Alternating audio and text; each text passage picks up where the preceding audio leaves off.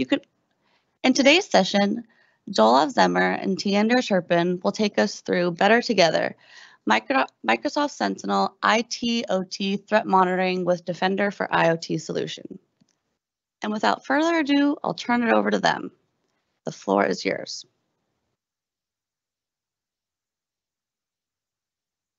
Hey, Ashley, thank you for the great introduction. Uh, let me quickly start sharing my screen and we'll go ahead uh, with our show for today.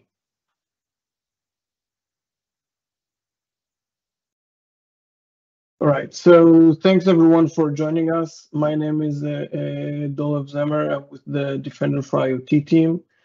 Uh, I've been with uh, Microsoft for the past uh, two years or so, and before that with CyberX, who then was acquired by Microsoft. With me today, I also have uh, Tiander Turpijn. Tiander. Hey everyone, my name is Tiander. As Dolev introduced me, I'm a program manager within uh, Microsoft, Microsoft Sentinel, our cloud SIEM uh, product. I've been uh, within Microsoft with Microsoft over two decades, so that's a long, long time. Um, and I would love to uh, have this uh, great session with uh, together with all of the community members. Appreciate you joining together with Dolev. Thanks. Thanks, Tiander. Right, so moving on to show you the agenda we have for today. We'll start with some uh, uh, background on uh, IoT and OT security for those of you um, who don't have that prior knowledge. We'll touch on Defender for IoT, and the uh, challenges we help our customers face. We'll then talk about uh, uh, Sentinel, and then we'll mash them together to show you um, how they work best. Uh, so without further ado, uh, let me go ahead and start with the show. So just a bit of background, uh, Defender for IoT came from what was before CyberX. CyberX was founded in 2013 by uh, Blue Team uh, Cyber Defenders, ex uh, IDF, and basically started together with the OT security world. very, very widely spread with customers worldwide, and in June 2020 was acquired by Microsoft uh, and assimilated into the uh, Azure and Microsoft security stack. When we talk about uh, uh, IoT and IoT security, it's important to remember one very, very big thing. The attack surface is constantly growing at a rate that uh, I don't think anyone can uh, really anticipate. We see that about 75% of uh, enterprise organizations have over 5,000 IoT devices. That's huge. Um, with COVID-19 and everyone going remote, think of all the challenges that poses. A lot of the organizations will remain uh, working remote for a long time. Some of them will work with uh, uh, hybrid uh, models. So that also contributes to the uh, increasing attack surface. CISOs now have to face some, something like three times the attack surface they needed to just a few years ago. So with that uh, uh, uh, in mind, we need to try and understand how we can address these emerging threats. Defender for IoT uh, is now a suite of uh, uh, products. We'll touch a bit on some of them and we'll dive deeper into specific ones today. Starting with what we title here as the security micro agent. So consider uh, device builders, the companies that build the uh, IoT uh, thermostat in your house, the um, the routers that you build, uh, the healthcare IoT devices that you have. This part of the product uh, is aimed at them to help them build in and bake in uh, Defender security within their products in the manufacturing stage. Enterprise IoT is the uh, part that helps the organization defend all the agentless IoT devices in their network. So think about VoIP phones, printers, uh, smart coffee machines, as well as their uh, network equipment. This product is now in a public preview, and we invite you to uh, look further into this. And of course, joining all of this And apart from Defender for IoT is Defender for Endpoint, which you uh, might already know about. And this really helps uh, push all the information that we have into uh, the rest of the Microsoft security stack. Today, we will be focusing on the industrial side of IoT. So OT and ICS think about manufacturing, uh, pharmaceutical companies. This is the part of the uh, uh, field that we'll try to protect today, and uh, we'll dive deeper into this. So OT, operational technology, what is it? Um, think about smart factories, pharma, like I said, power generation. A lot of these uh, organizations and their facilities uh, were designed and built during the 80s and the 90s, uh, where security was not baked in. It was presumed that if you can access the uh, asset, then you can probably be allowed to alter things and change things, turn it on and off. And security really wasn't baked into that. Now, think about such a, a factory like an automotive factory and think that now they are trying to modernize, right? Everyone is talking about digital transformation.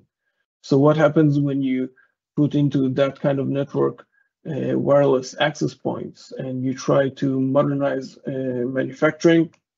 These networks are no longer air gapped, uh, and now you have uh, new threats that you didn't have before. And this really takes us into the discussion on how OT security is just a bit different from IoT or IT security. So for IT security, we usually uh, and traditionally focus on data confidentiality, uh, keeping privacy in check, making sure that all our uh, different uh, applications and all our networks stay connected. And we have standard protocols and devices. I know what a laptop is, I know what a smartphone is, and I know what HTTPS, HTTP is, everything that we already know. And of course, uh, we have multiple layers of uh, control and telemetry. So I have my uh, firewalls and I have my uh, um, uh, identity uh, management. This is a, a standard, standard issue for IT security. But when we come into the realm of OT, the priorities there are a bit different. First priority, if you ask a plant manager, is the safety of the workers in that facility. Second priority for them, manufacturing. The production line can't stop. Not like I can put in a firewall within uh, the plant and it will block something uh, uh, accidentally and no longer we're manufacturing that specific door for that specific uh, car. Uh, so those are the top two priorities in the uh, uh, OT realm. On top of that, like I said earlier, it's traditionally air gapped. So it wasn't baked with security in mind.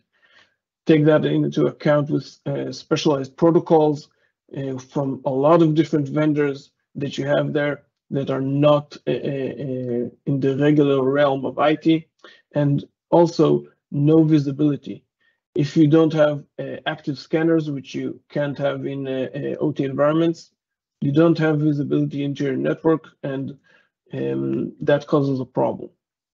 So this brings us into the discussion on Defender for IoT. Defender for IoT is an agentless and passive solution uh, within uh, the network. This requires you to uh, install either a virtual machine or physical server for Defender for IoT and uh, span the traffic or mirror the traffic uh, uh from your switch of the OT environment. So if we look at the, your environment as an organization, you have Defender for IoT protecting your enterprise, and you have, a sorry, Defender for Endpoint protecting your enterprise, and Defender for IoT, uh, uh, protecting your OT environment, spanning the traffic for that environment through Defender for IoT, your local on-prem server, and then connecting that as a cloud-connected server um, to Azure. Once all the information is in uh, uh Azure, You can also uh, uh, connect it straight into Sentinel to have a centralized uh, view for all your environments. So see in one place both your IT environment, your OT environment, and get data from all your sensors. This is where we'll start uh, and really try and answer what are the challenges that our customers face and how we help them uh, uh meet those challenges. So let me uh, reshare my screen here.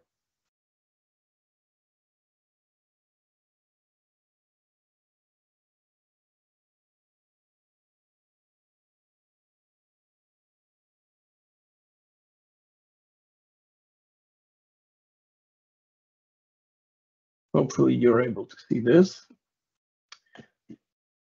So first order of business is to get some discovery, right? You don't, uh, you can't protect what you don't see. So if I go straight into my uh, Defender for IoT platform here, this is what you get when you uh, start uh, working with Defender for IoT. This is our overview page, trying to give you uh, the most important information up front. So here I can already see that I have uh, uh, 76 uh, uh, devices, assets uh, uh, in my network. I can get a good look at what protocols I have in my network, um, what ports I'm running, what's my general bandwidth. In this case, the plant is shut down for now, but we, we, played some traffic earlier and I can get a good glance of my alerts. You can also notice here that I have my latest uh, uh threat intel. Since this is a cloud connected server and um, I'm connected to Azure, once uh, the Defender IoT team releases a new threat intel package, it's automatically updated and I can get the latest uh, information and threat intel uh, delivered right here. Jumping into my uh, device map. So once traffic starts playing, IoT does deep packet inspection and uh, gets you a good uh, uh, view of the network inside your organization. So if I go through the different layers here, I can see that I can check what OT protocols I have here, what known applications I can see, uh, as well as my uh, subnet layout and other uh, uh, information. If I dive deep, deeper into this map, I can already see that I have some internet connections, which we might uh, need to uh, drill deeper into later on. In my supervisory layer, uh, the layer um, which uh, usually the OT engineers would access, I can see that I have certain HMIs, so human machine interfaces. I can see that I have some engineering workstation and for each of these, if I uh, try to look at their connections, I can see, okay, these two devices uh, uh, are communicating uh, between each other. I can see what type of connection uh, do they have, when, what was the last time they communicated, as well as I can take a deeper look into that asset. So this, for instance, is an engineering workstation working uh, uh, alongside HMIs uh, and other machines. Dropping further into my network, I can see that this is the process control layer, and I can see the different PLCs and the different protocols they have, as well as dive deeper into those assets. For instance, this is a DeltaV controller that has uh, many modules uh, connected in the back of it. Now, Remember that all of this is done passively. No active uh, uh, um, operations in the network. This is all through deep packet inspection and uh, proprietary uh, protocol analysis. I can also try to uh, uh, view this information as, as in a table view in my asset inventory. And this is very comfortable for a lot of organizations to be able to export this and work with uh, other systems as well. So we covered the first part, right? So asset discovery, you can protect what you don't see. We got that covered.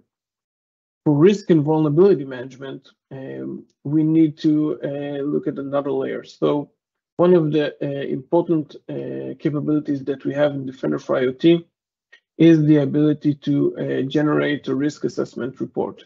So if I generate a, a, report here, that creates for me a PDF. And if I download this PDF, I can see that this basically runs an analysis of my entire network and my security posture. We get 41% uh, score, which isn't very good. So coming up on the next quarter, we might need to do some planning on this. This really gives me some actionable information. So if I drop here, I can see an executive summary. I can see what type of uh, vendor equipment I have in my network. I can see um, that I can simulate some attack vectors for some of my uh, uh PLCs. I have some active internet connections. And for each of these, I can see, okay, if I mitigate, if I update the firmware uh, to the latest on these seven assets, I can increase my security score by 14%. So this is uh, your part of the executive summary, but if the engineers want to dive uh, deeper into this, all the information is right here. You can see the active CVEs, etc. Uh, and this is very good for teams that are trying to plan ahead and see how they can improve their uh, security posture. So going back into my uh, sensors, so this is my risk assessment. One other thing that I can do is that I can uh, simulate attack vectors and see, okay, if I want to see what an attacker would do uh, in my network, what are the uh, ways in that they have, this also allows me to simulate that and see, okay, I see an open internet connection here. This is interesting. We might need to look more into that later because if they get, can get to this engineering workstation, they can jeopardize my uh, programmable logic controllers and my entire network. So that covers us for uh, risk uh, and vulnerability management. Continuous IoT and OT. So this brings us really uh, uh, into the middle of it, into the day-to-day. -day. And uh, this brings us into the alerting. So we generate uh, uh, alerts, we can decide uh, to investigate them here or to investigate them in our SIEM SOC, depending on what part of your organization is in charge of this, and we'll get to that a bit later in our presentation. You can get all the inf information about the incident right here. Uh, and you can really get all the information on which devices are uh, relevant, as well as uh, take a look at the event that led into this incident. Furthermore, if you want to see more uh, uh, information apart from the alerts, you can uh, check out the event timeline and see all the different events that are transpiring within the within the network. So we're covering risk vulnerability, visibility, continuous IoT and OT, uh, threat monitoring, operational efficiency. So we mentioned that uh, uh, for OT engineers, one of the top most important things is keeping the factory running, right? So a lot of our alerts are not only uh, security related, but also uh, operational uh, related. So if we see, for instance, Modbus exception. So Modbus is an OT protocol, and we see that um, some uh, uh, PLC sent uh, an exception to the engineering workstation. This is something that an OT engineer would probably need to take a look at and find out and see if we have some misconfigurations in the network. And lastly, um, IT, OT security monitoring and governance. So like we said, we want to be able to collaborate between uh, OT engineers and SOC operators. One way we can do that is create uh, forwarding rules from uh, uh this local sensor to other uh, SIEM solutions. Uh, Sentinel is being one of them, but it's connected in a different way, as we'll see in a second. But we have other vendors that we can definitely um, uh, Uh, work with. Uh, we don't uh, uh limit ourselves uh, just to the Microsoft stack. But of course, this presentation focuses on the way that Defender for IoT collaborates along with Sentinel. So with that, Tiander, I'll give it back to you. Thanks, Dolev. if you can put up the PowerPoint slide, then I'll talk about why the better together story with Sentinel and Defender for IoT is is great. Uh, so we do have uh, a couple of advantages, multiple advantages uh, over um, the regular connections and the integrations that uh, uh, just uh, showed. Dolev, do you want to pull up the slide deck?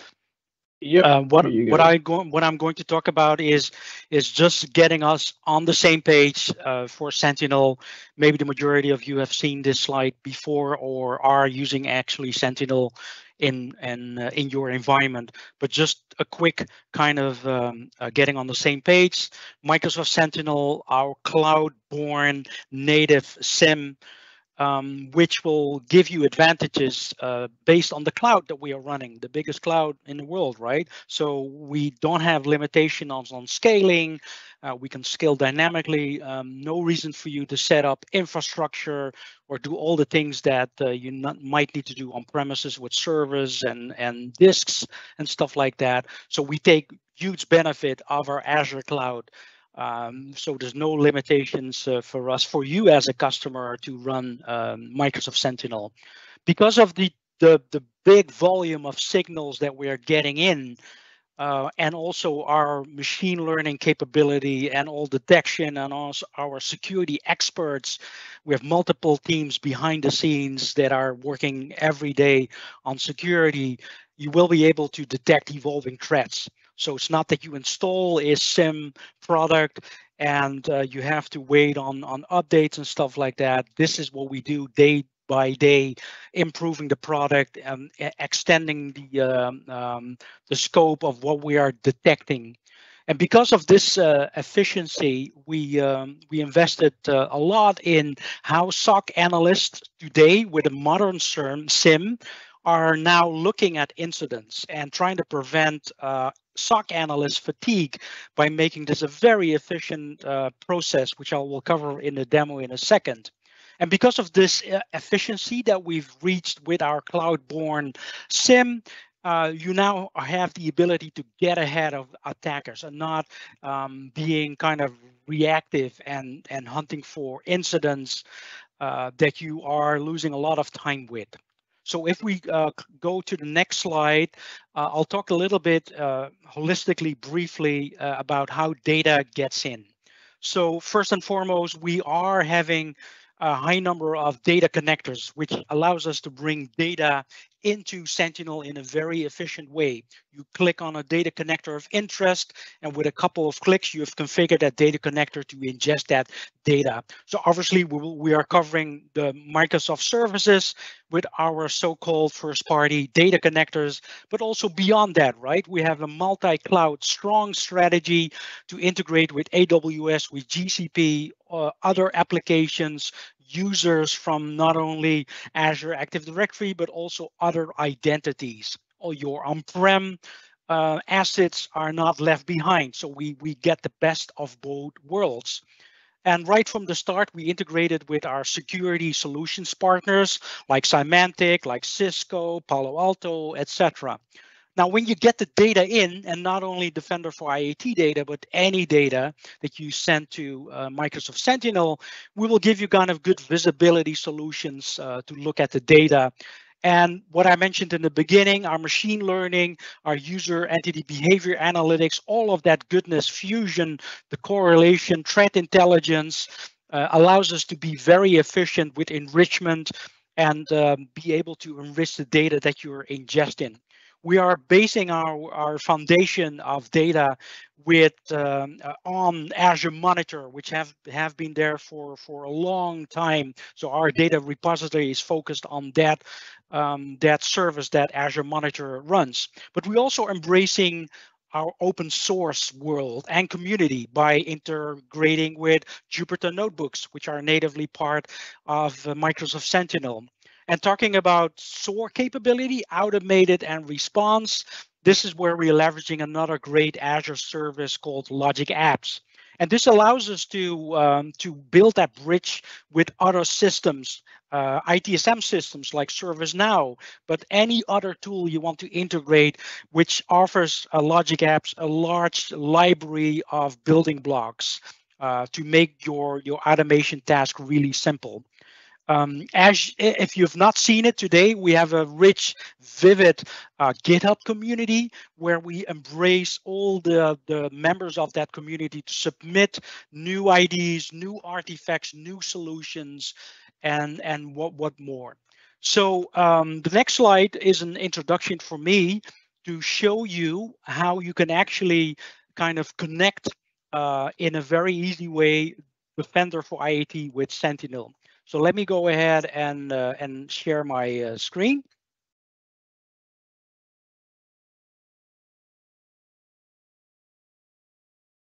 Sharing my screen.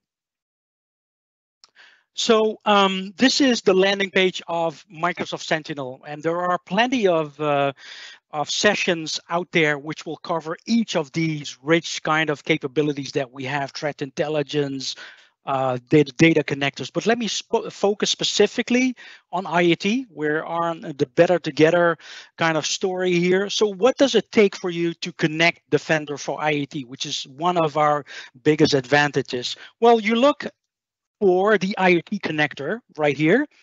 And you click on Open Connector page. And after you've done that, uh, you can connect any subscription that you have access to and where the Defender for IoT solution uh, is running. So this allows you to kind of connect your subscription with just one single click of a button. That's it. The next thing that you might want to do is to enable the out of the box rule that we bring with this connector. So the only thing that you need to do is click on the create rule button right here, which will then gives you that analytics rule and gives you already the data that you can see uh, flowing uh, flowing in.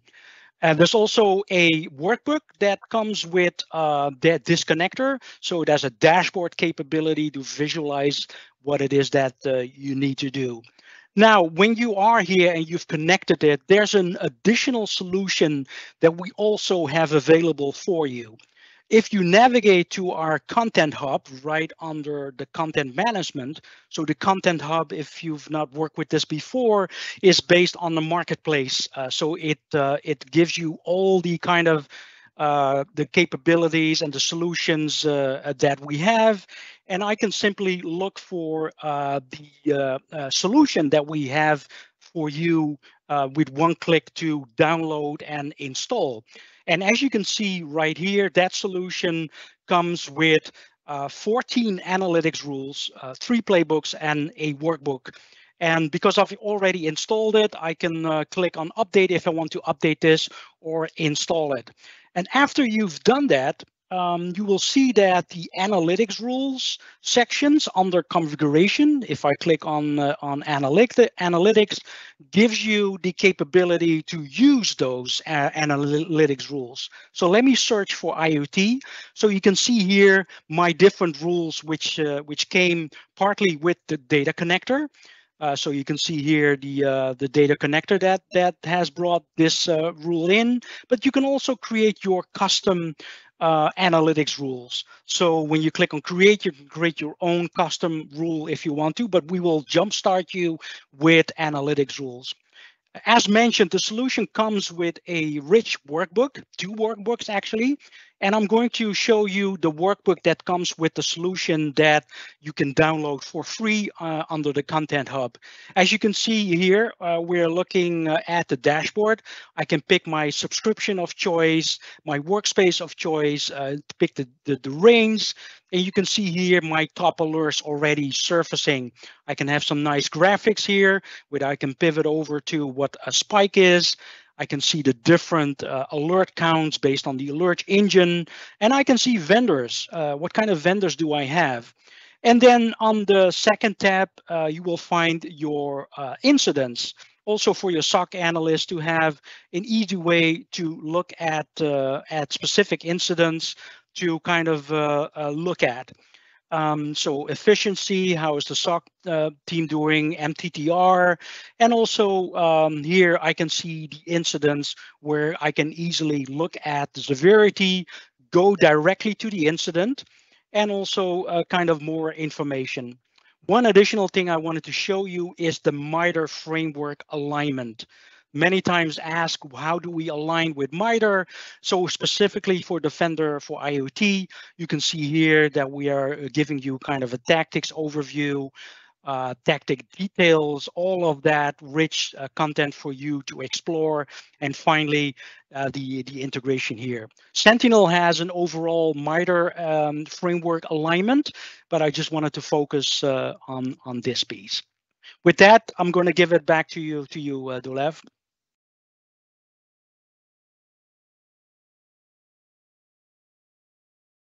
Thank you very much, Tiander. So let me reshare and continue our uh, uh, presentation for uh, uh, for today. Here we go. All right.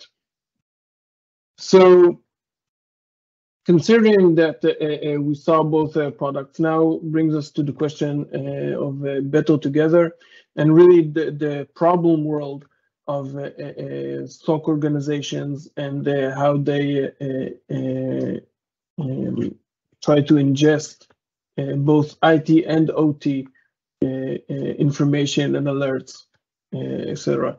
So the first issue that we need to address, or first challenge, is the people's challenge. SOC organizations, up until now, or mostly, are not built and trained uh, with uh, OT uh, technologies. Up until now, that wasn't in the core of their work.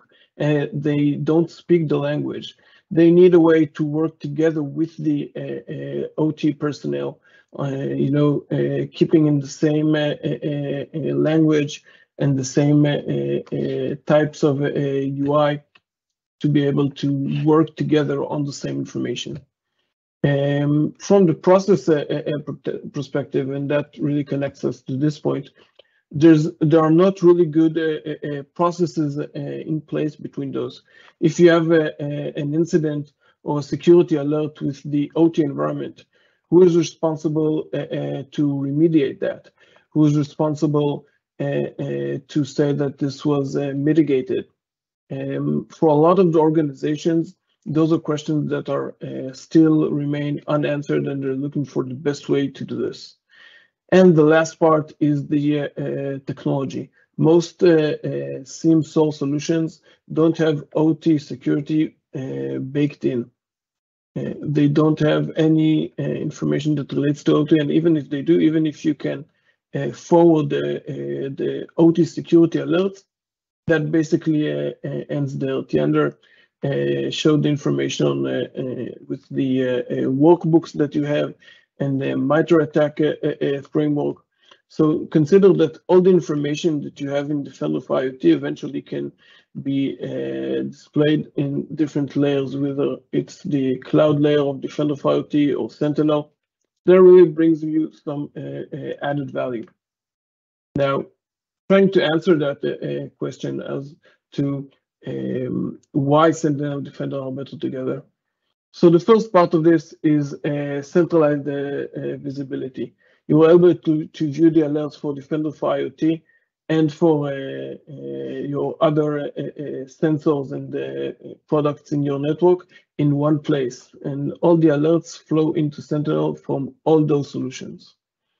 Second part is the ease of deployment. Tiander just showed you that when you deploy the connector for Defender for IoT, it's a couple of uh, uh, clicks of a button and that's it. Now this is important because as you, uh, if you try to uh, connect different uh, uh, products before, you know that when you have alerts, you forward syslogs maybe, you have a lot of parsing and configurations to do. And if you have a cloud connected sensor for Defender for IoT, all that is baked out of the box. Third point that we have here is a direct link. So when you have alerts in uh, Sentinel, you are also uh, have uh, the ability to click through them uh, from Sentinel directly uh, for Defender for IoT to view these alerts and all the information that you need. the seamless experience. So you saw um, the different UIs and the different user experience for the products.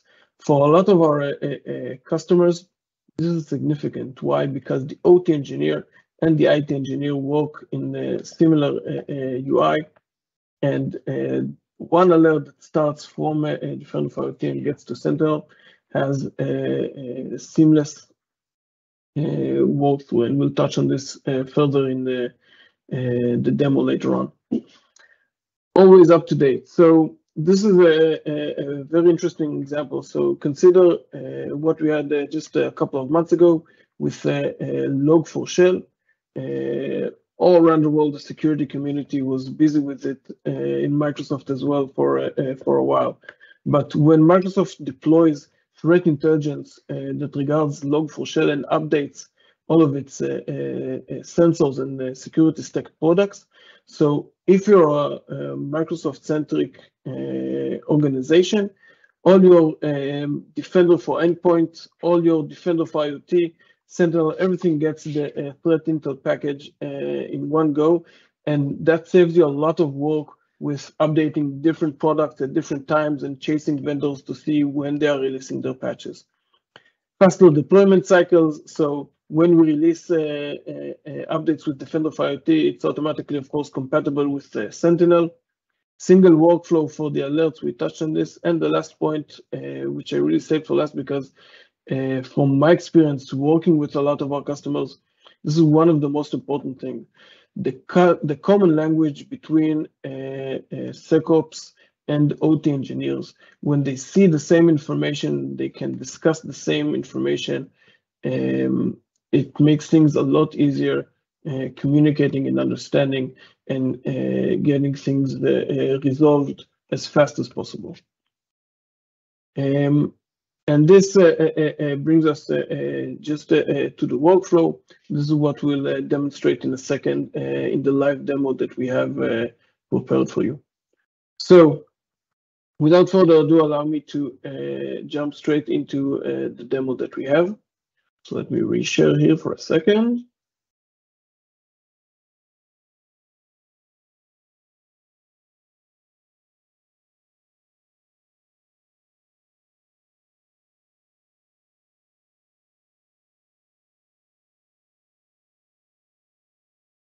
Okay, so as I said earlier, um, this is our Defender for IoT. Now, for the purpose of uh, this demo, let's say that I'm an OT engineer in our uh, factory. Uh, we are manufacturing whatever you think uh, we're manufacturing here. And uh, during my shift today, uh, everything is going fine, but suddenly I see some of these alerts that are kind of worrisome to me. Specifically, I see some controller resets and I see uh, an S7 uh, uh, stop command for one of my PLCs from this HMI, and I see that uh, there's also a stop command from this engineering workstation. I can click through to see uh, uh, more details on the assets involved, as well as view the relevant event timeline. And I can see here that just before that uh, PLC stop command, uh, there's a firmware update initiated from this IP, and there's a configuration right. And I'll now need to uh, do some internal investigation and try to figure out who in the plant uh, uh, might have initiated this because uh, this is not something that uh, should be happening while we are in production trying to manufacture maybe what I mentioned earlier, specific door for a car. but keep in mind that while I'm in the factory and working through this and uh, seeing this alert. At the same time, this is cloud connected sensor. So it's flowing into uh, the Defender for IoT uh, uh cloud uh, uh, uh, part in Azure. And I can also choose to view the alerts from different sites um, in this particular part. So this is the Azure part of Defender for IoT. And keep in mind that if we mentioned earlier MITRE ATT&CK. Remember that? So when I view alerts uh, for Defender for IoT uh, in the cloud, I can also see the relevant tactics and techniques that uh, uh, correlate to them.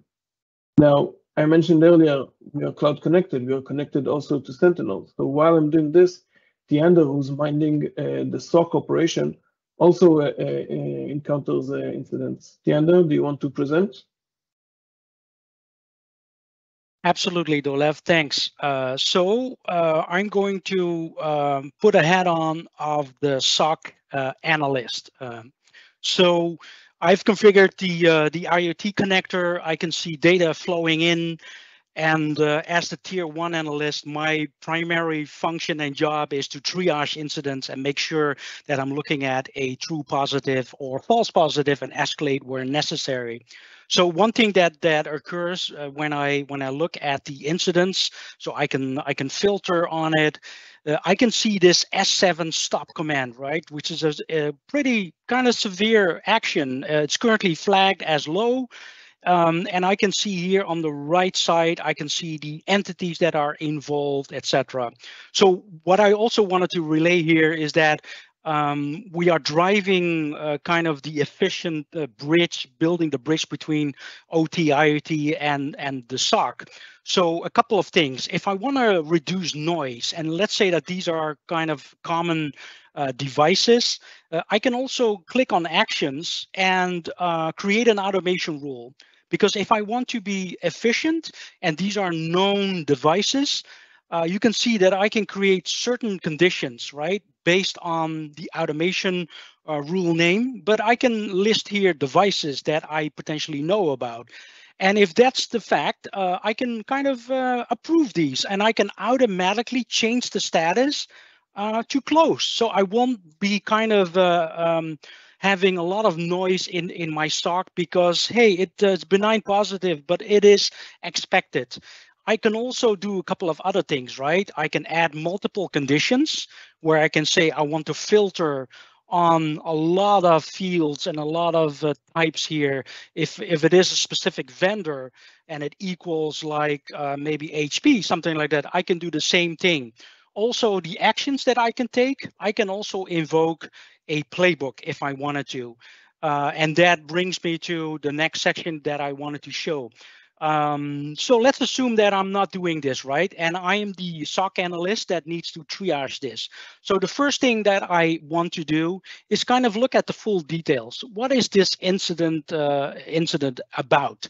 So uh, as said, uh, I can see I, I, can see a couple of things. I can see, for example, well, it's a low severity. It automatically got assigned to me.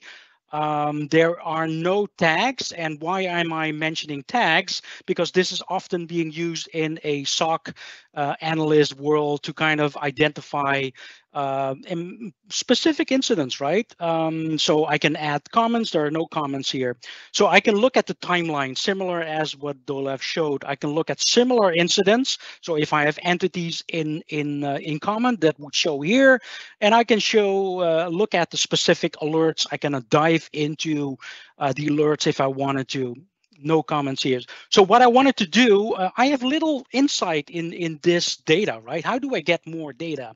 So what I can do now is trying to kind of uh, execute something automatically which normally I can do automatically, but that would not be a fun um, uh, playbook uh, to show. So what I'm doing here, I'm invoking automatically a playbook, well, semi-automatically, which will do kind of a triage automatically for me. And again, I could have this automatically do for me. So notice the low severity here and notice the tags and um, just got populated, right?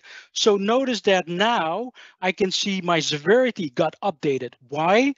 Because this is a factory device and therefore we're increasing the severity to high. We identified the owner, which is Dolev, and we sent him an email, but also we added a tag here that it is a factory device. So I can do easier kind of triaging that I'm uh, identifying uh, this. So uh, based on, on the automation that I can automatically run, I can autom automatically send the owner an email. So uh, you can identify owners and automatically I send an email like, hey, Dolev, there's a critical event related to your device. You might want to investigate. Click on this link to see more information. What I didn't point out is there is a kind of direct link. So if I need to investigate this at the source, I can click easily on this link and I would automatically go to uh, Defender for IT to do uh, additional uh, additional in investigations. So I, am just showing you kind of the tip of the iceberg, what you can do with uh, uh, with, with Sentinel. And this actually is, is behind the scenes is uh, checking a so-called watch list, kind of a list that you can populate with important assets for you to interact with. So let's uh, take a look at another example, how Sentinel integrates with uh, with Defender for IoT. There was a second concerning um, alert, an incident that got created. You can see here uh, that a device connected to a public IP, which is not supposed that uh, that should not be be happening. So a couple of things. I'm showing you um, kind of things behind the scenes. Um, this is an example how you can build a custom um, custom rule for an incident. And the reason that I want to show you this is because of the power of what we can do behind the scenes. What I wanted to show you is this we can automatically, without raising an incident, check whether an IP that is involved in that incident, whether that's an that's a, a private or a public IP. So in this example, I'm filtering on whether uh, this IP is not a private IP, right? If it is a private IP, okay, that's fine. If it is a public IP, I want to do a couple of things. And the second thing is I am checking again whether this source device is a factory device. And if so, I'm going to increase the severity to high. And that allows me to do a couple of interesting things with this incident, although the source might be different. So you can see here the entity mapping. I will map entities with our schema inside of Sentinel, with which will come out of the information but also I can add some additional um, details like adding key value pairs, which makes more sense for enriching the incidents. And lastly, if I look at the alert details, I can do a couple of uh, efficient things here. First of all, I can add a variable. So immediately for the SOC analyst, it shows what device was this uh, incident about. Also, I am injecting a new severity based on the query I just ran. So you remember when we looked at the query, I said there's a new severity when I see a match with the source device, which is a factory device. That increases my uh, uh, my um, kind of my urgency on it. So let's go back to the to the incident details, right? Because I want to look at what entities do I see. So you can see here that I see a bunch of entities. Are these malicious? Are the are the are these trusted? At this point, I don't know, right? So what will I do? And again, I can run this automatically. I can run a kind of a, um, a query or a request to uh, an external source like VirusTotal that would uh, kind of give me uh, comments here that I can triage. It will add some tags and it will uh, give me additional context for me to decide whether this is a true positive or not and an, and an urgent one for me to uh, to further investigate. Now you can see a couple of interesting things, right? I just got a confirmation back from VirusTotal that this is probably an harmless kind of uh, kind of IP address, which makes sense. Again, for the public IP, same thing. Uh, this is a harmless, but uh, what is interesting is that this will continue to run. And let me do a refresh here. Um, then I'll I'll see a couple of things when uh, when I got a match with another IP address that is part of my uh, my threat intelligence, for example. That will will show up here if I run a query uh, against this. Now this uh, this gives me kind of uh, an ease, right? There's no harm in this specific um, uh, in this specific incident, but maybe I want to kind of uh, investigate a little bit more to see what kind of relations do I have. So for that, I'm going to switch back. Uh, sorry, and now I'm going to do an investigation. So I want to run in an investigation here. Uh, and what I typically want to do is look at the uh, the incident here, what I have. So this is my my current incident, right? And I can click here on properties, give me all the properties. What what if uh, if there are more kind of relationships and what I can do here, I can make this slide a little bit nicer and move this around. And what I want to do is I want to look at related alerts. So are there related alerts against this IP or that IP? So I can click on this And what this does, whoa, it brings me a lot of information on relationships. You can see the dotted lines here. And my eye immediately gets drawn to this one. Apparently, there was a port scan against this IP. So what I wanted to do now is add this alert to the incident. So it got a little bit enriched. And now I'm adding this incident right here. So when I go back, you can now see that uh, if I open this up one more time, you can now can see that I have multiple uh, incidents against this uh, um, this uh, original incident. And the last thing I, I want to do, I want to collaborate with an IET engineer like, like Dolev. I can do an, another action, which is create a team site. And why is this highly efficient? I can collaborate in, in a couple of more ways. So let me show you uh, the team site that I created based on a similar incident. So this is the team site I created. You can see the incident right here. I connected to uh, a public IP. So I can co cooperate and I can um, get Dolev on a call and we can talk about uh, uh, the, the, uh, the architecture and I can highlight this but also we can uh, collaborate, uh, do some posts here. I can add uh, a post. I can uh, have uh, a OneNote stand up, and all of this is is integrated fully with Sentinel to collaborate. So with this, I'm uh, going to stop and hand it over to Dolev, and I hope I relate the power of the better together story. Thanks, Tiander. Yeah, so looking into that uh, uh, incident and uh, internet connectivity, I found that someone installed a, a, rootkit on one of my engineering workstation. So thanks for pointing that connection out for me.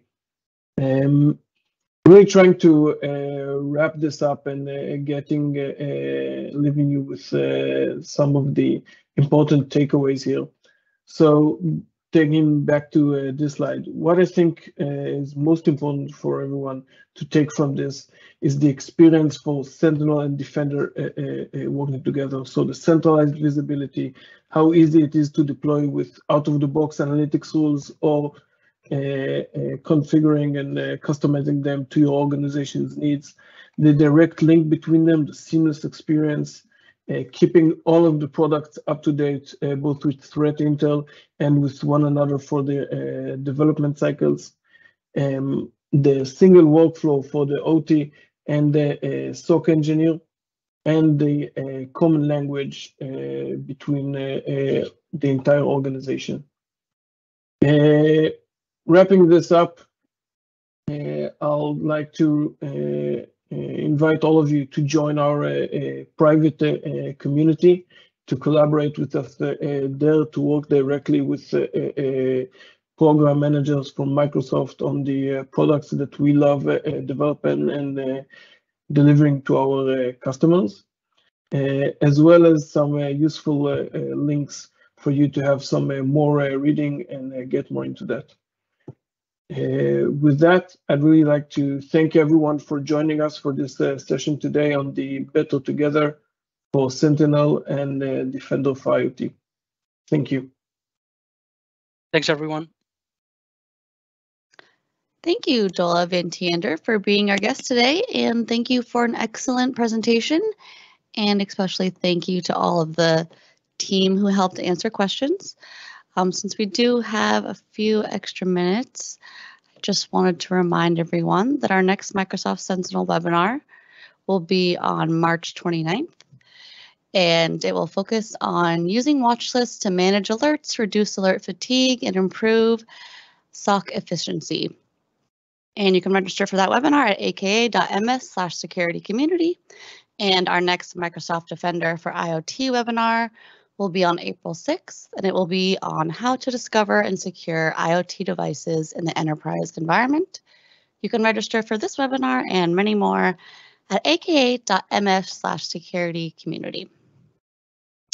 And at the same time, I would like to remind listeners that the best way to ensure you don't miss any future webinars or major announcements is to visit that landing page at aka.ms slash security community and while there, you'll find easy ways to navigate and find the resources and learning content relevant to our security products and their communities. A good start would be browsing our bite-sized product videos, ninja trainings, recordings of past webinars, GitHub communities, and more. We love to hear your feedback on how we can improve these webinars. Please take a minute submitting your webinar feedback at aka.ms slash security webinar feedback. Thank you and see you next time. Goodbye.